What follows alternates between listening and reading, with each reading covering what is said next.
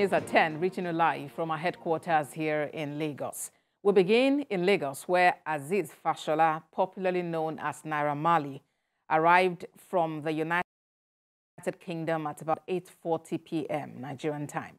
According to reports from the airport, Naira Marley was picked up by the police and taken to the State Criminal Investigation Department, Panti, where he will be received by Deputy Commissioner of Police, DCP Wahid Ayilara. He was alleged to be behind the bullying of late Ilerioluwa Oladimeji Aloba, popularly known as Mohbad. Late Mohbad was an artist under Marlian Records when he was constantly bullied in videos that have gone viral on social media before and after his death on the 12th of September 2023. Circumstances surrounding his death were followed by massive protests in Nigeria and abroad. Angry Nigerians had insisted on the Nigeria police inviting the duo of Naira Marley and his friend Sam Larry back to Nigeria to answer questions on their involvement in what led to the death of Mohbad.